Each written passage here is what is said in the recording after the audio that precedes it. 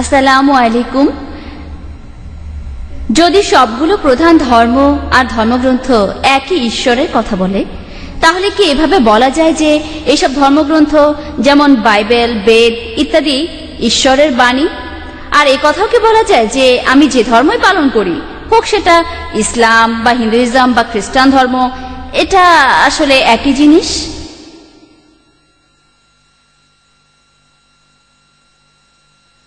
বোন, আপনি প্রশ্ন করেছেন যে আমি অনেক ধর্মগ্রন্থের উদ্ধৃতি দিলাম আর সর্বশক্তিমান ঈশ্বর সম্পর্কে প্রমাণ করলাম যে ঈশ্বর একজনই।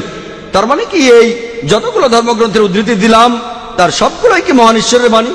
এর মানে কি এই যে ধর্মই পালন করুন না কেন, খ্রিস্টান ধর্ম, হিন্দু ধর্ম, ইসলাম, সবগুলোই আসলে এক? বোন, অনেক মানুষের ভুল ধারণা আছে যে ইসলাম ধর্ম পৃথিবীতে এসেছে আর ইসলাম ধর্মের প্রতিষ্ঠাতা হলেন নবী মোহাম্মদ সাল্লাহ সাল্লাম চোদ্দশো বছর আগে। সত্যি বলতে ইসলাম ধর্ম পৃথিবীতে আছে সৃষ্টির প্রথম লগ্ন থেকে মানুষ যে সময় থেকে পৃথিবীতে আছে। আর পবিত্র কোরআন বলছে সুরা ফাতিরের ২৪ নম্বর আয়াতে উল্লেখ করা আছে এমন কোন সম্প্রদায় পৃথিবীতে নেই যাদের কাছে সতর্ককারী পাঠানো হয়নি। পবিত্র কোরণেশ্বর হ্রদের সাত নম্বর আয়াতে উল্লেখ করা আছে প্রত্যেক জাতির জন্য আল্লাহ তালা দুধ পাঠিয়েছেন। নাম দিয়ে কোরণে পঁচিশ জন পয়গম্বরের উল্লেখ আছে। কিন্তু আমাদের নবীজি মোহাম্মদ সাল্লা সাল্লাম তিনি বলেছেন এই পৃথিবীতে এক লক্ষ চব্বিশ হাজারের বেশি পয়গম্বর আর রাসুল এসেছেন।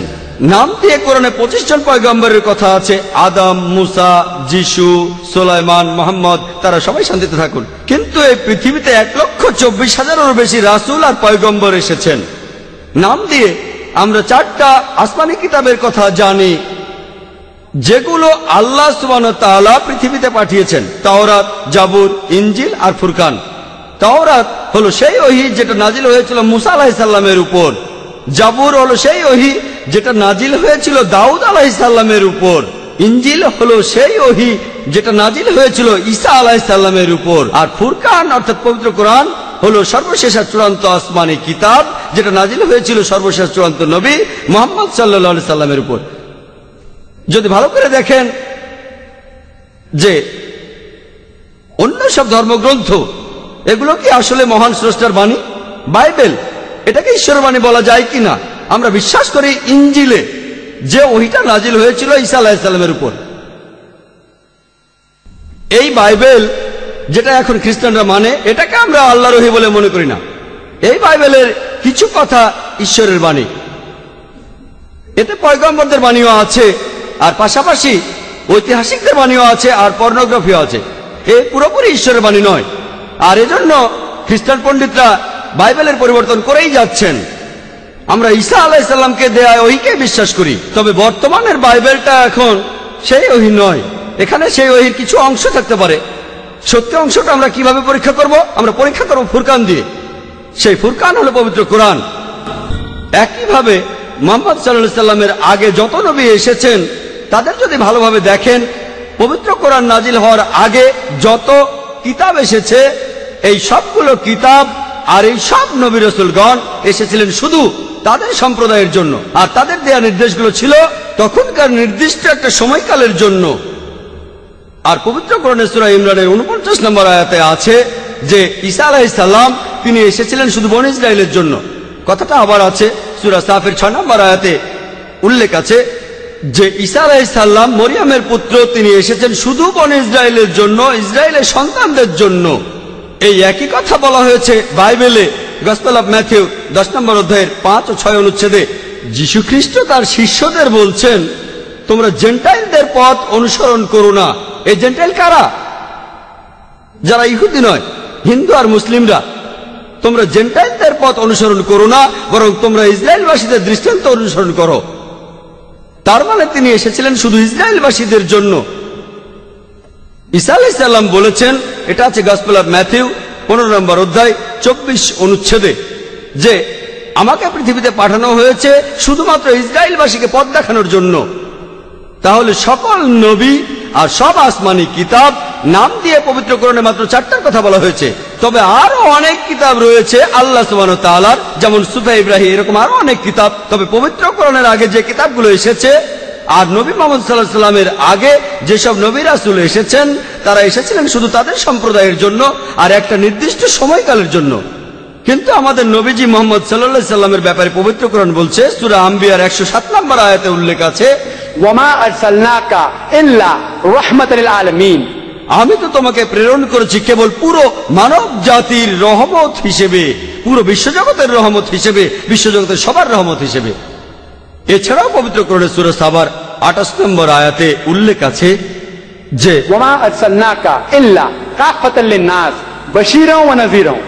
আমি তো তোমাকে সমগ্র মানব জাতির প্রতি সুসংবাদদাতা ও সতর্ককারী হিসেবে প্রেরণ করিয়াছি কিন্তু অধিকাংশ মানুষই এই কথাটা জানে না। এছাড়াও অন্য সব আসমানিক কিতাব যেগুলো আল্লাহ সুবাহ পাঠিয়েছিলেন পবিত্রকরণের আগে সেগুলো ছিল শুধুমাত্র সেই সম্প্রদায়ের জন্য আর একটা নির্দিষ্ট সময়কালের জন্য। কিন্তু পবিত্রকরণ বলছে, সুরা ইব্রাহিমের বাহান্ন নম্বর আয়াতে বলা হয়েছে, এছাড়াও সুরা বাকারার একশো পঁচাশি নম্বর আয়াতে বলা হয়েছে এবং সুরা জুমারের একচল্লিশ নম্বর আয়াতে বলা হয়েছে, কোরআন পৃথিবীতে এসেছে পুরো মানব জাতির জন্য। আপনার প্রশ্নের ব্যাপারে বলি যে এই ধর্মগ্রন্থগুলো বেদ, বাইবেল, জেন্দাভেস্তা, দশাতির, উপনিষদ এগুলো কি মহান সৃষ্টিকর্তার বাণী? আমি যেটা বলতে পারি যে আমরা ইঞ্জিলে বিশ্বাস করি, মহান ঈশ্বরের বাণী হিসেবে। কিন্তু বর্তমানের বাইবেল এটা ঈশ্বরের বাণী নয়। এরপর বেদ, উপনিষদ, গীতা, দশাতির জেন্দাভেস্তা এ ব্যাপারে বলতে পারি, হতে পারে এগুলো ঈশ্বরের বাণী, হতে পারে। আমি নিশ্চিতভাবে বলতে পারি না। যেহেতু কোরআনে বলা নেই যে বেদ ঈশ্বরের বাণী, আমি নিশ্চিতভাবে বলতে পারি না। আমি শুধু বলতে পারি, হতে পারে সেগুলো ঈশ্বরের বাণী। তবে সেগুলো যদি ঈশ্বরের বাণী হয়েও থাকে পবিত্র কোরআন বাদে যে ধর্মগ্রন্থগুলো আছে, সেগুলোতে মানুষ অনেক পরিবর্তন করেছে, সেগুলো বিকৃত হয়ে গেছে।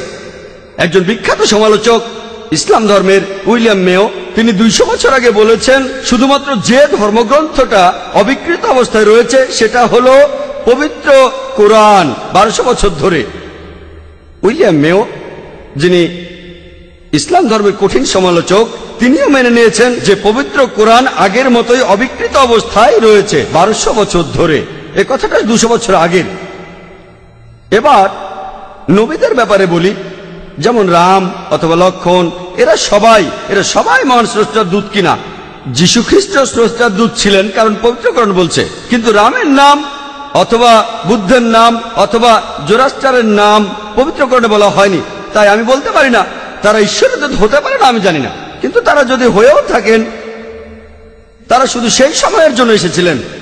তারা এসেছিলেন শুধু তাদের সম্প্রদায়ের লোককে সঠিক পথে নিয়ে আসতে। কোরআনের আগে যেসব ধর্মগ্রন্থ এসেছিল, সেগুলো ছিল শুধুমাত্র তাদের সম্প্রদায়ের জন্য, আর সেটা নির্দেশ ছিল একটা নির্দিষ্ট সময়ের জন্য। সেগুলো যদি ঈশ্বরের বাণী হয়েও থাকে, যদি আগের প্রেরিত দূতরা ঈশ্বরের দূত হয়েও থাকেন। আপনি শুধুমাত্র সর্বশেষ ও চূড়ান্ত নবীকে মেনে চলবেন। অর্থাৎ মোহাম্মদ সাল্লাহ সাল্লামকে। আগের ধর্মগ্রন্থগুলো ঈশ্বরবাণী হয়ে থাকলেও আজকে আপনি মেনে চলবেন। আল্লাহ সুবাহতাল্লার সর্বশেষ ও চূড়ান্ত কিতাবকে, সেটা হলো পবিত্র কোরআন, আর কিছুই না। এবারে, আপনি যে ধর্মেরই হন, খ্রিস্টান, হিন্দু, মুসলিম, সবাই এক। না বোন, সবাই এক না। কেন? যদি আপনি ভালো করে দেখেন পবিত্রকরণ বলছে সুরা আল ইমরানের বাহান্ন নম্বর আয়াতে উল্লেখ করা হয়েছে যে ঈসা আলাইসাল্লাম মুসলমান ছিলেন। বাইবেলে একই কথা আছে। এটা গসপেল অফ জন পাঁচ নম্বর অধ্যায় তিরিশ নম্বর অনুচ্ছেদে, আমি আমার ইচ্ছাকে দেখি না, আমার বাবার ইচ্ছাকে দেখি। যদি কথাটা আরবিতে অনুবাদ করেন, আমার ইচ্ছাকে নয়, ঈশ্বরের ইচ্ছাকে দেখি। এটার মানে হলো ইসলাম, যিশু মুসলমান ছিলেন। পবিত্র কোরআন বলছে যে ইব্রাহিম আলাইসাল্লাম সুরা আল ইমরানের সাতষট্টি নম্বর আয়াতে উল্লেখ আছে, তিনি ইহুদি বা খ্রিস্টান ছিলেন না, তিনি মুসলমান ছিলেন। তাই আজকে যদি কোনো ধর্মকে বেছে নিতে চান, পবিত্র কোরণে সুরা আল ইমরানের উনিশ নম্বর আয়াতে উল্লেখ করা হয়েছে ইসলাম। একমাত্র যে ধর্মটা, যে দিন আল্লাহর কাছে গ্রহণযোগ্য, সেটা ইসলাম। যদিও অনেক ধর্ম এক ঈশ্বরে বিশ্বাসের কথা বলছে, এক ঈশ্বরে বিশ্বাস করাটাই এখানে যথেষ্ট নয়। আপনাকে বিশ্বাস করতে হবে তৌহিদ। আপনাকে আল্লাহ সুবান তালার ইবাদত করতে হবে। এজন্য পবিত্র কোরআনে আবার বলা হয়েছে, সুরা আল ইমরানের পঁচাশি নম্বর আয়াতে বলা হয়েছে, যদি তোমাদের কেউ ইসলাম বাদে অন্য কোনো দিন গ্রহণ করে, আল্লাহ তালার কাছে আত্মসমর্পণ না করে, সেটা কখনো কবুল করা হবে না। এবং আখিরাতের দিনে সে হবে ক্ষতিগ্রস্তদের একজন। আশা করি উত্তরটা পেয়েছেন।